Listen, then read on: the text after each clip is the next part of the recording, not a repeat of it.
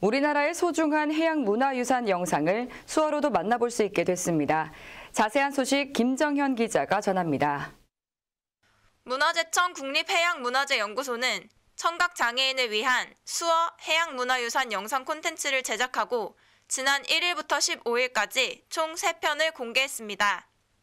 이는 지난 2016년부터 제작해온 해양문화유산 영상 콘텐츠 가운데 대표 영상을 선정해 수어 영상을 입힌 것으로 발굴 조사 현장 소개부터 전시 기획까지 해양문화 전반을 담았습니다.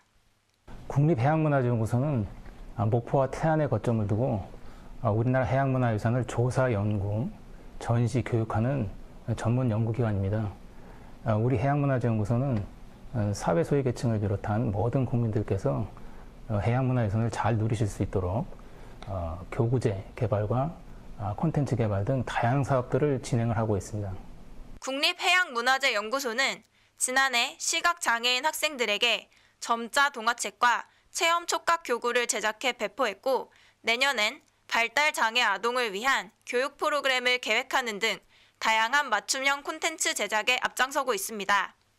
수어 영상을 공개하고 많은 분이 응원과 지지를 보내주셔서 보람을 느꼈습니다.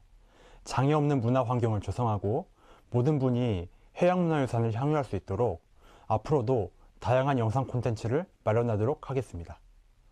시각, 청각, 발달장애인이 모두 차별 없이 해양문화유산을 만나고 누릴 수 있도록 노력하는 국립해양문화재연구소의 다음 콘텐츠가 주목됩니다.